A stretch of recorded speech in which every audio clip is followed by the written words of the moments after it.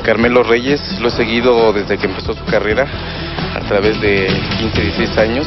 Para mí es mi ídolo.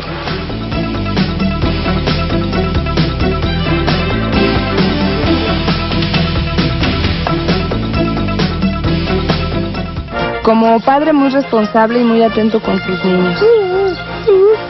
Y como esposo, también muy, muy atento, muy responsable. Muchas golpes y lastimadas y violadas, pero al llegar con tu familia sales más que pagado.